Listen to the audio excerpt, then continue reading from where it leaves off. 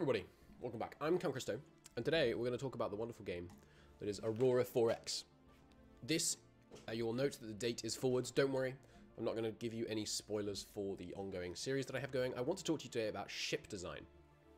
Some people have put out some pretty good and long and comprehensive, and there's both in text and in video, talking about videos and, and guides, talking about how you design a ship. I'm not trying to match that. I'm not trying to tell you how exactly you should design your ships or anything like that. I want to go one step back uh, and one step down in terms of complexity. I want to tell you conceptually how do you design a ship in Aurora 4X.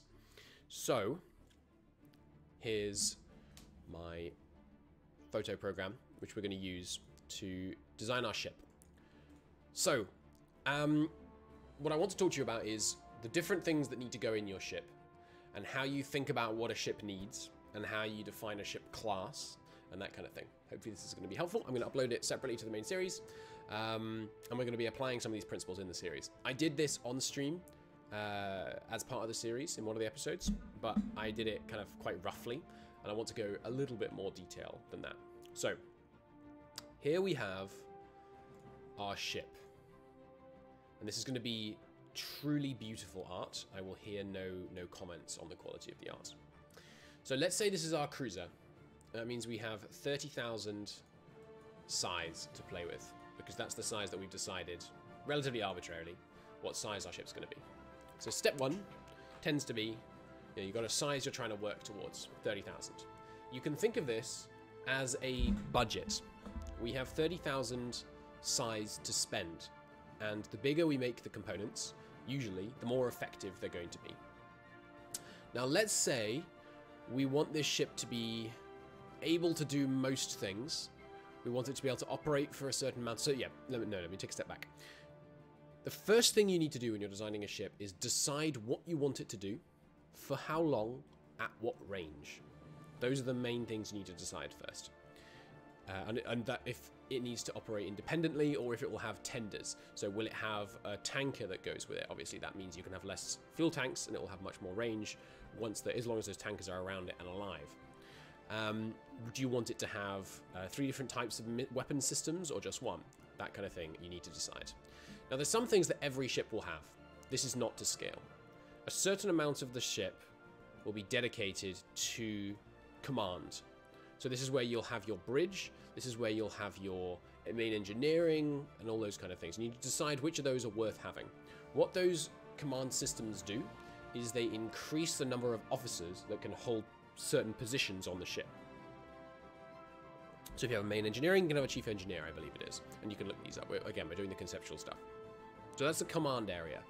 You want to have, you know, engineering, all that kind of thing in your command area. And that will take up a certain amount of space. You have some choice over how much space they'll take up, because you can choose to have just a bridge, or a bridge and a flag bridge, and an engineering, and a primary flight control, and, you know, a command, uh, combat information center. You know, it's up to you uh, how big you make this to a certain extent, but the individual components don't need to change. Then something else that every ship will have, more or less, is an engine. So let's put that over here. This is the engine. It's a weird E. There's our engines, right? So engines are obviously providing our thrust. Now, there are various rules of thumb about how big your engine should be. That's outside of the scope of this video. Typically, they end up being like a third or something like that. More than that sometimes, quite a lot more than that sometimes. But we're just going to talk about what the different things are you need so you know what you need to think about when you're designing your ship. So you've got the engine. Then, of course, the engine needs fuel. And that's a very odd F. fuel, and how much fuel you have will depend on how far you need it to go. And obviously, the more powerful uh, your engine, the more fuel it will consume uh, over the same distance, meaning you'll need to have more fuel. So yeah, at this point, decide whether how far you want it to be able to get, and is it going to get there solo, or is it going to get there with the assistance of tankers? Very important to work that out before you determine how much fuel you put on the ship. Then next, you have your we're going to divide uh, offensive and defensive capabilities. Some of the things in these two will be duplicated. So for the cruisers that I'm going to build in the campaign, we're going to use missiles offensively and Gauss cannons defensively. You can use Gauss cannons offensively, you can use missiles defensively, you can use lasers, you can use all kinds of different things, but that's what we're going to go with, so that's what I'm going to address here. There will be differences, slight differences if you're doing something different. So let's talk about our missiles. What do you need to be able to launch a missile? Well, step one, you need a missile launcher. Here's our, actually, let's not use that because missile launchers are not gimbaled. Here's our missile tube, right? It's got a little, it's got its missile in it and it's ready to shoot it out into the sky, launching it out into enemy space, and then the missile will fly itself.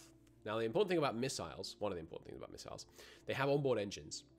So they are not, uh, they're not, you don't have to aim them, right? That means you don't need a gimbaled turret in order to uh, to point it exactly in the right place because he's just going to launch out and then rocket off towards their intended target.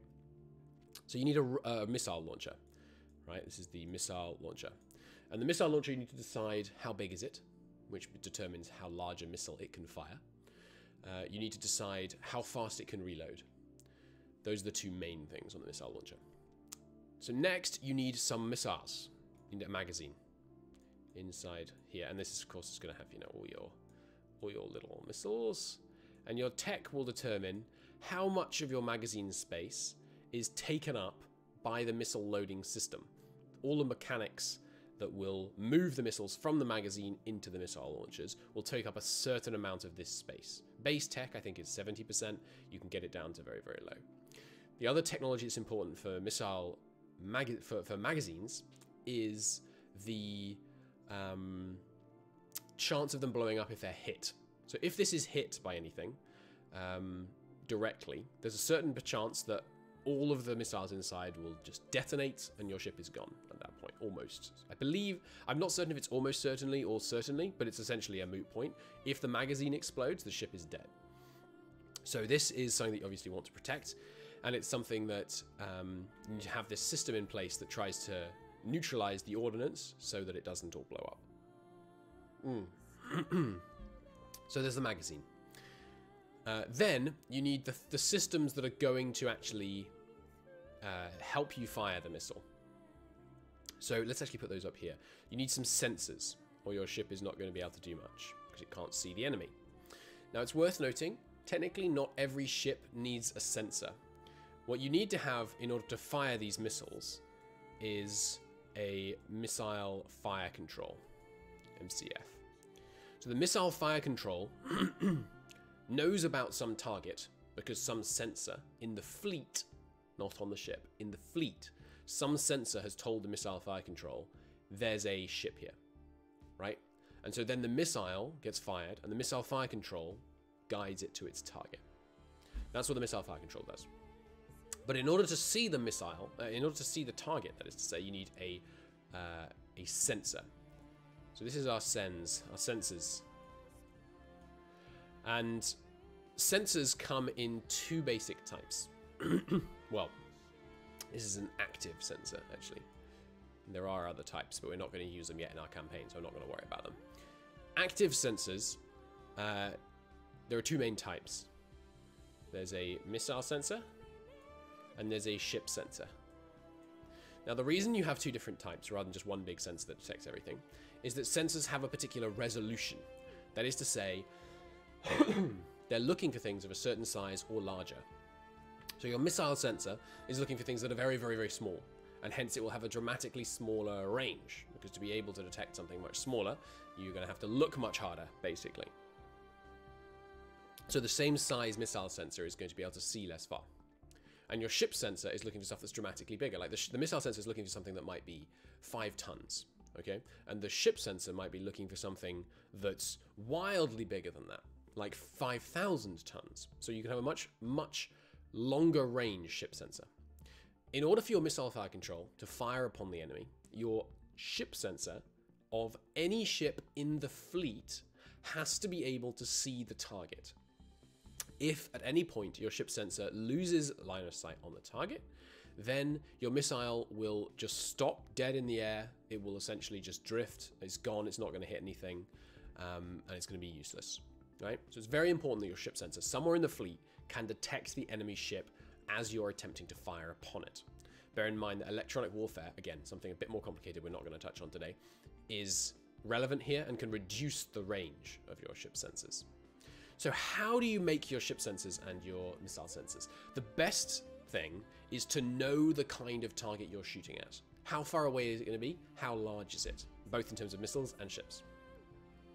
And to do that, you need to be able to scout. You need to be able to see the enemy ship, right? That's not always an option. So sometimes you just have to pick, like, okay, we're going to be able to see ships of 5,000 tons at 100 million kilometers, right? That's probably what I'm going to design for our first ship in the series. Uh, and then we're going to be able to shoot things 100 million kilometers away. Unless they have any electronic countermeasures, in which case we might have to get to 80 million kilometers away before we can actually shoot them, which does make a big difference. so your missiles are one of the other things you have to design. You've got your missile launcher, but what about the actual missiles?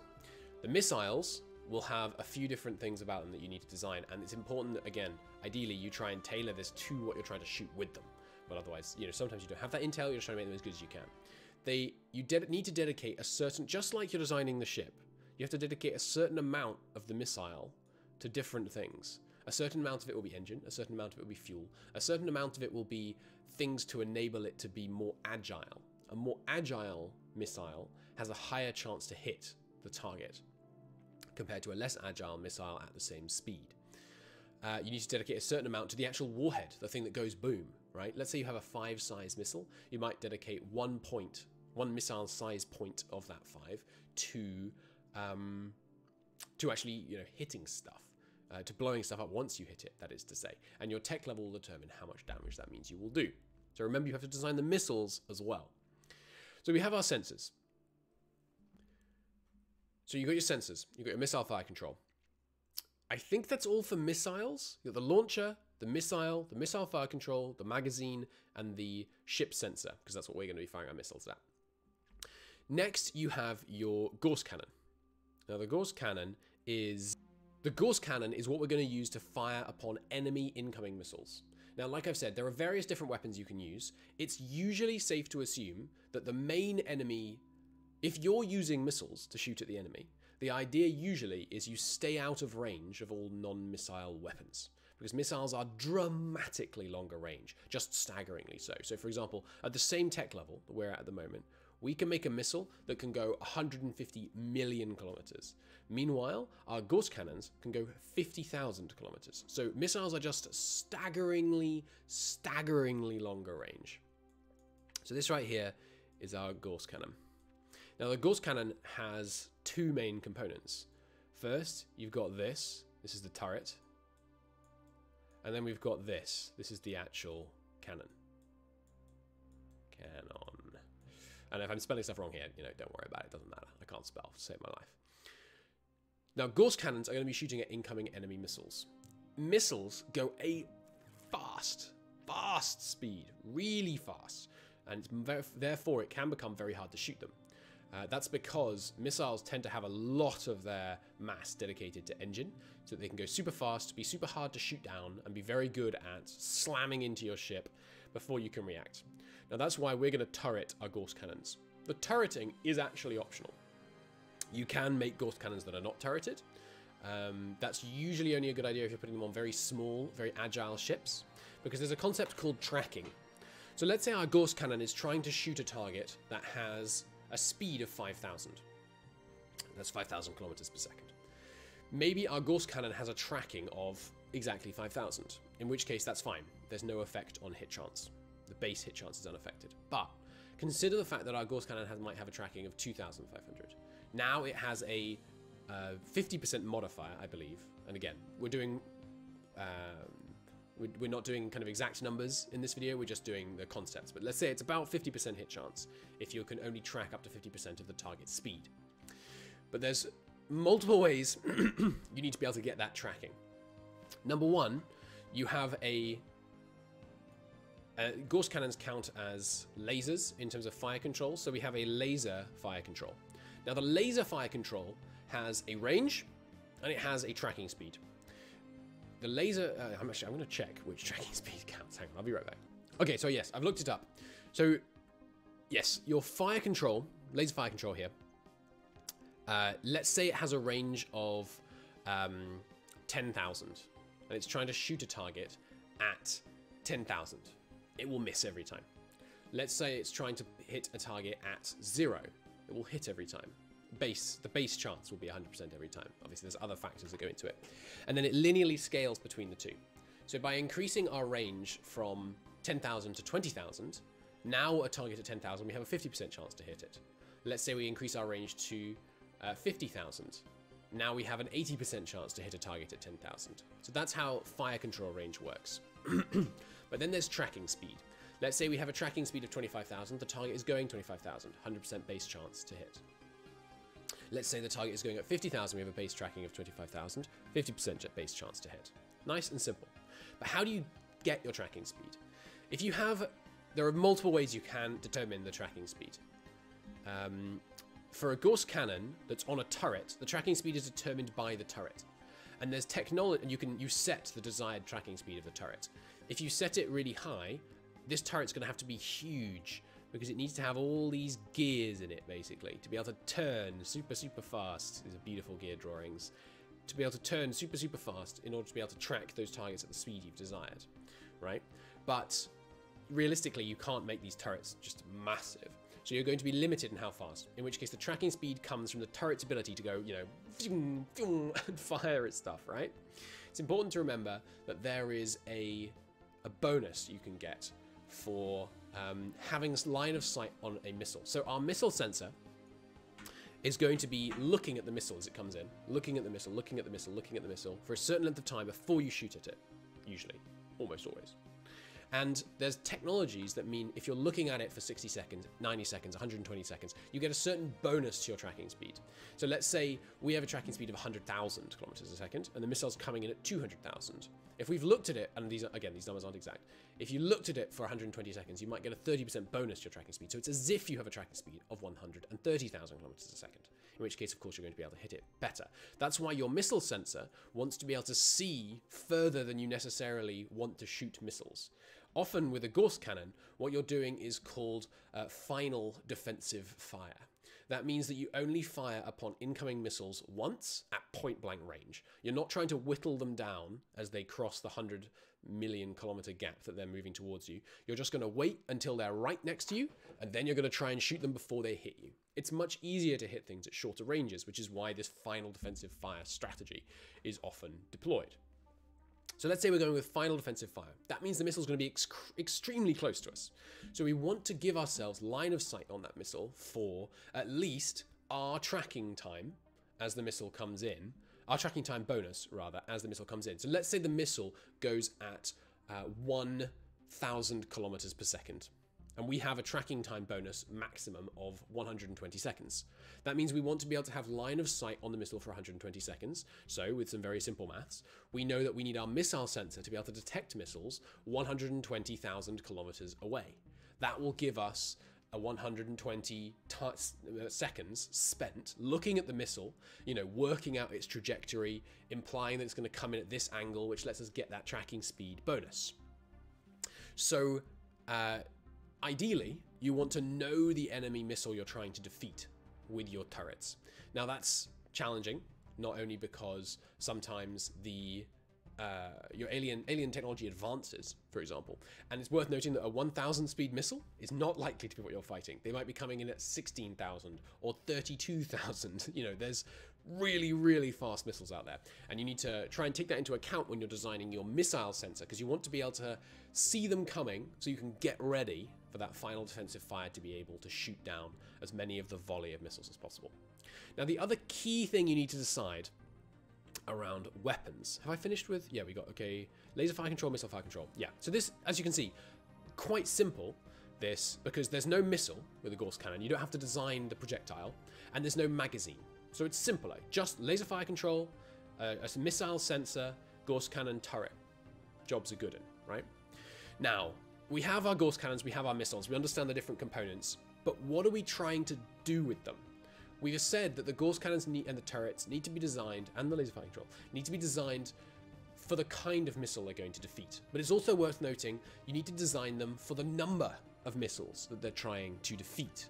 So let's say we expect a volley of enemy missiles coming in to be comprised of 100 missiles. In order to shoot down 100 missiles, you're going to have to shoot at least 100 Gauss cannon rounds. One Gauss cannon round can only deal with one missile. Bear in mind that each Gauss cannon can fire more than one round. So the ones we have, well, well I won't tell you the actual tech level we're at because I wanted this to be no spoilers. But let's say you have uh, two rounds fired per five seconds. Combat happens usually in five second increments. So your Gauss cannon is going to fire two rounds every five seconds. That means each Gauss cannon can defeat two missiles. That means if you've got uh, 100 total missiles coming in, you need 50 Gauss cannons. That sounds like a hell of a lot, but remember they don't all have to be on the same ship because ships in a fleet act like they are at a point. They can all defend each other with final defensive fire just as effectively as they can defend themselves. So don't worry about the idea that each of your ships need to be able to defeat all of the missiles coming in in case the enemy focus fires one of your ships. Your fleet will defend itself. So let's say we have now uh, a much more reasonable ask of 20 ships with an average of 2.5 Gauss cannons on each. Right now we can defeat if they're each firing two rounds. Remember though, that assumes we have a 100% hit rate. That is unlikely. You are not likely to get a 100% hit rate. So you want to overdo it with defenses, usually. Speaking of defenses, there's another key component on here that we have yet to add, and that is the armor. Now, the armor is very important because the armor is simple. The armor is easy. This is our armor. now, the way armor works in Aurora is you apply it completely evenly to the ship. There's no extra thickness around your citadel zones. You don't have extra armor on your magazine. That's important to note. So you have your armor, and you have a certain number of layers of armor. This is what you can choose. That's the only thing you can choose when it comes to armor. How many layers do you want? The thickness of those layers in mass is determined by your technology. The better technology you have, the less massive an additional layer of armor becomes. So, uh, and each layer is. Ooh, I'm not sure about this actually. I think each layer is linearly larger. I don't think outer layers. I'm not certain about that. You should check that in your own game. I don't think the second layer is actually more massive than the first layer, which it should be, right? Because it's, you know, going out and bigger, but I think they're linearly sized. But with better tech, you can get more layers for the same mass. That's the advantage of your um, the technology that you get around um, armor. You can have more layers, same mass. So it's effectively like you can make thicker, you know, thicker armor for the same price, which is obviously great. How many layers of armor you put on is entirely up to you.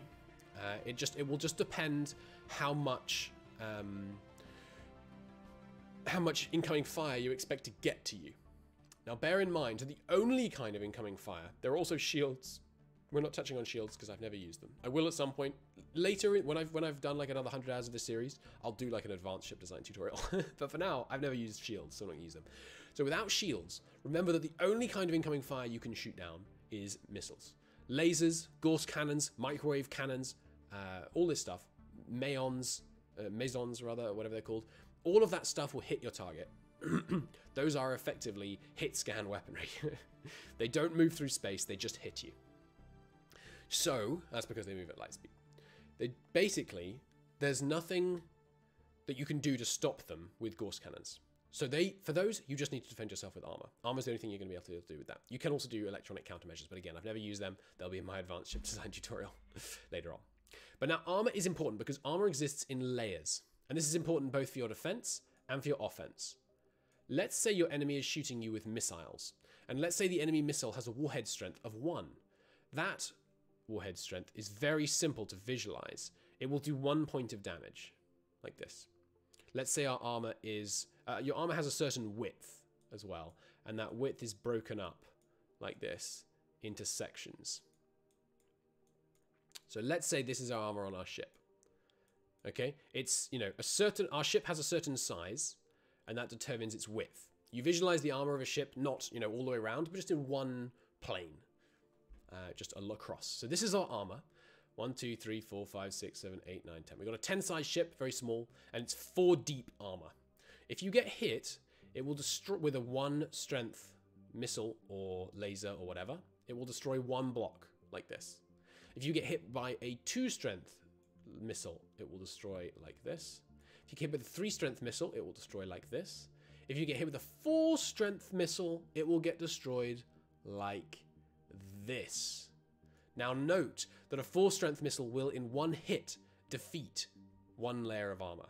So let's say you only had one layer of armor, a four strength missile would immediately, if it hit you, destroy an interior space. Now each each item in your ship has a chance of being that thing that is destroyed.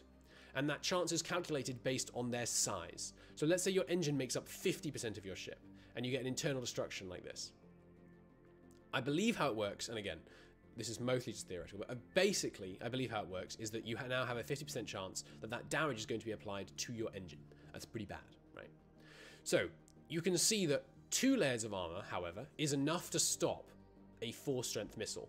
The first 4-strength missile, because of course the second 4-strength missile could hit in exactly the same place and destroy these three. It's unlikely to do so, but it could.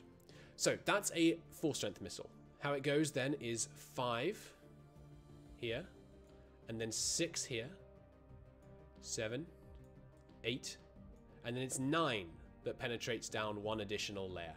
So one penetrates the first layer, four penetrates the next layer, nine penetrates the next layer, and you can see how this is going to carry on. You've got 9, 10, 11, 12, 13, 14, 15, 16 is the next one up, which will penetrate an additional layer. Now, that is missiles, but it's not that simple when it comes to lasers. It's not that simple when it comes to railguns and particle torpedoes or lasers. So the way lasers work is like this. A laser destroys this one first with one damage, this one second with two damage, this one third with three damage. So a three damage laser is going to do wildly more damage penetration wise than a 3 damage uh, missile. Obviously, very important. Then it goes 4, 5, but then 6 comes down here. That's lasers. And then particle torpedoes go 1, 2 penetration, three, four, five, penetration. So basically what this means is that missiles have to spend a lot longer destroying the armor before they can get deep penetrating hits versus um, lasers and, and railguns and things like that. So that's those.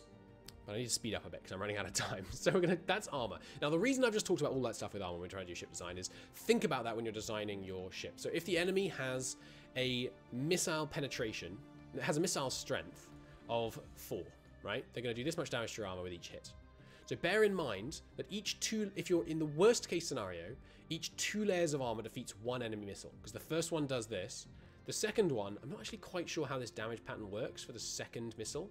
I think it would go one, two, three, four. I think that's how it would work. And then if another one hit here, it would go one...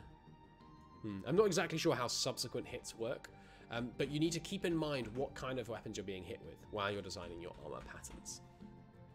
Next up, just to finish out here, you have uh, some crew quarters. Oops some crew quarters. They won't be nearly this big on the ship. That's depending on how long how long the deployment time you set. The ship will automatically calculate how many crew quarters you need for that, and it will set those up. And that, more or less, is how we're going to design our early ships. There are other things you can put on. Lasers, cannonades, um, troop transports for boarding actions, um, shields, uh, power plants to power your shields. But that is what we're going to do with our initial ships. I hope that's helpful for getting you to be able to conceptualize what it takes to design a ship. And one of the important things here to remember is that many of these components you have to design individually as components to then put into the ship. Right, I'm just going to highlight those here so you know them uh, when you're going off to try and design your ships. You have to design a missile launcher specifically for the ship. You can use them on multiple ships, but you have to design at least one. The missiles you have to design specifically. The missile sensor the ship sensor, you have to design specifically. The Gauss cannon, uh, this bit of the Gauss cannon, you have to design specifically. The turret, you have to design specifically. And then the Gauss cannon whole thing, turret plus cannon, has to be designed as a separate thing. Laser fire control, missile fire control, you got to design those. The magazine, you got to design that. The engine, you got to design that. That's it. You have to design all those components, then the other ones are kind of, you know, generic components. You have to put them all in here. You have to decide how much of the ship you dedicate to each. You have to decide the role of the ship, how good the armor is going to be, how far am I going to try and fire the missile? That's going to affect your ship sensor, of course. How far, uh, how long do I want to be able to see the enemy missiles? That's your missile sensor. How much ammunition do I want to be able to carry? How much damage do I want to be able to deal? That's your magazine. How far away am I going to fire my missiles? How fast are the incoming targets? That's your laser fire control. How rapidly do I want to be able to reload my missiles? How often do I want to be able to fire it? What size missile do I want to fire? That's your missile launcher. How fast, agile, damaging, ranged do I want my missile to be? That's your missile. How fast do I want to be able to fly? At what efficiency? That's your engine. How far do I want to be able to fly? That's your fuel. How much damage do I want to be able to take? That's your armor. What kind of officers do I want to have on the ship? That's your command. C'est fini. I hope that was helpful. Um, put your questions in the comments. Some of the maths might have been a little bit off. I was just trying to get the basic concepts down. There will be a more advanced version of this tutorial. Good luck in Aurora. The most important thing to remember is design your ship for the task. Don't try and design one engine and then put on everything. Don't try and design uh, one, you know, don't pick one layer of armor and put it on everything. Pick the things that are likely to get hit more. Don't try and design one sensor and put it on everything. Try and make it class specific. Try and make it uh, custom, designated. And um, remember that losing your first entire fleet because you screwed up and didn't put a missile sensor on it and couldn't even fire anything is very normal. Enjoy Aurora. I hope that was helpful. Questions in the comments. Very well.